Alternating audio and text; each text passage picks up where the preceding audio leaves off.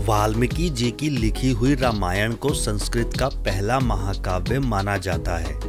रामायण में सिर्फ़ भगवान राम के जीवन की कहानी ही नहीं, बल्कि ये जीवन के नज़रिए को बदल देने वाले ज्ञान का भंडार है।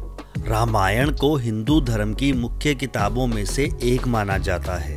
भगवान राम के जीवन की घटनाओं से हम कई तरह की सीख ले सकते हैं। वाल्मीकि और तुलसीदास दोनों ने ही उनके जीवन की घटनाओं को आसान तरीके से दिखाया है। आज हम अपने वीडियो में रामायण की ऐसी दस बातें आपके सामने ला रहे हैं, जिनसे हमें जीवन की बड़ी सीख मिलती है। लेकिन उससे पहले अगर आप चैनल पर नए हैं या पहली बार चैनल पर आए हैं तो चैनल को सब्सक्राइब ज़रूर करें। चलिए अपने आज के वीडियो को शुरू करते हैं।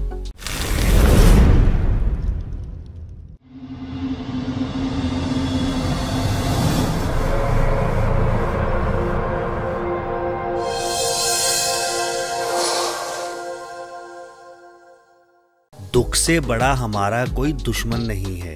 ये बात सच है कि हमारा सबसे बड़ा दुश्मन दुख है। दुख अच्छे से अच्छे ज्ञानी और शक्तिशाली इंसान को भी कमज़ोर बना देता है। इसलिए हमें दुख को अपने मन और बुद्धि के ऊपर हावी नहीं होने देना चाहिए। उत्साह में अपार शक्ति होती है। अगर आपके अंदर किसी काम को लेकर उत्साह हो तो उत्साहित मन वाला आदमी बड़ी से बड़ी मुश्किल को आसानी से हरा सकता है। दुख में डूबा और निर्बल इंसान कभी भी कोई महान काम नहीं कर सकता। अगर इंसान अपने दुखों का तोड़ निकाल कर उनसे लड़ने की राह नहीं ढूंढता तो ऐसा इंसान कभी भी कोई महान काम नहीं कर सकता। दुख आने पर अपने जीवन का अंत कर देने में कोई भलाई नहीं है। जिसका मतलब है कि अगर दुख हम पर हावी हो जाए तो कभी भी अपने जीवन को समाप्त ना करें। सुख और आनंद का मार्ग जीवन से ही निकलता है, मृत्यु से नहीं। इंसान का चेहरा ही उसके मन के भावों का दर्पण होता है। कोई भी अपने चेहरे से अपने मन के भाव को छुपा नहीं सकता। क्रोध हमारा ऐसा शत्रु है जो दिखता मित्र की तरह है। ये वो तेज धार तलवार है जो हमारा सब कुछ नष्ट करने की ताकत रखता है। जब इंसान का विनाश नज़दीक आता है तो उसे हर किसी की अच्छी सलाह भी बुरी लगती है।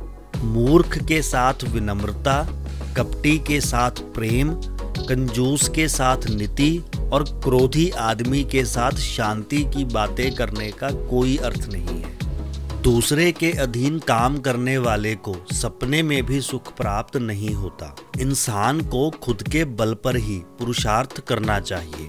दूसरों को दुख देने से बड़ा कोई पाप नहीं है। किसी के प्रति कोई भी ऐसा काम ना करें जिससे वो दुखी हो। अगर हम रामायण की इन बातों को ध्यान से जीवन में बिठा लें तो हमारा जीवन सुखमयी हो सकता है। आज के वीडियो में बस इतना ही। अगर आपको वीडियो अच्छा लगा हो तो वीडियो को लाइक और कमेंट करें। साथ ही इस वीडियो को ज़्यादा से ज़्यादा शेयर करें और चैनल को सब्सक्राइब करना ना भूलें। मिलेंगे जल्दी ही एक नए वीडियो के साथ। तब तक के लिए जय श्री राम।